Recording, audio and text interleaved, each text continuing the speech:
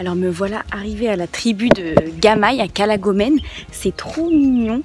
Il y a une petite case là qui est peinte en bleu. Je vais aller voir s'il y a quelqu'un euh, dedans.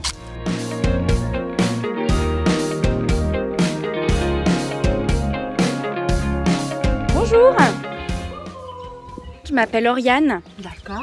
Je fais le tour de la Grande Terre en fait et là je cherche un peu d'internet. Euh, ben on va tester ça parce que c'est vrai qu'à la tribu, bon voilà, c'est, euh, il n'y a pas le réseau un peu partout, mais je, je vous invite dans, dans, la case. Ah ok, c'est trop gentil, merci. Alors ici, on est à la tribu de Gamaï, c'est une tribu qui se situe dans la commune de Calagomène. Ok. Donc euh, voilà, ici vous êtes dans la, la case où euh, on accueille euh, les gens, les enfants.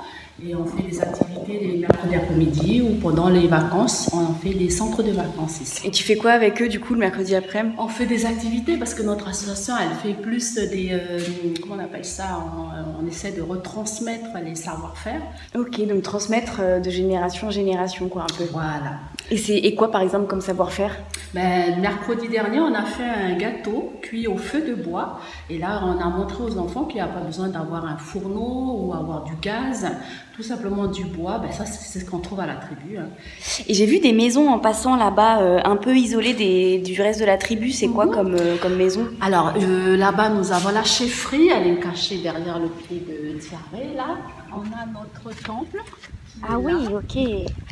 Et la maison du pasteur, qui à chaque fois, à côté du temple, il y a toujours la maison du pasteur. À côté, on a la- le local des femmes. D'accord. Les mamans, elles se retrouvent tous les jeudis euh, pour faire euh, voilà, les activités comme la couture, le tressage, euh, euh, la cuisine aussi, l'art culinaire.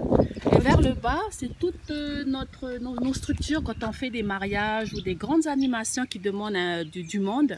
Et une dernière petite question, c'est quoi euh, là, là, là Alors cette stèle-là, elle est symbolique. En fait, euh, il y, a- il y a des familles qui viennent de la montagne. On voit pas trop bien avec la fumée. Mhm. Mais il y a une montagne là, il y a des familles qui viennent de la chaîne, avant, avant, au temps des vieux avant, et euh, des familles qui restaient ici, dans cette euh, tribu.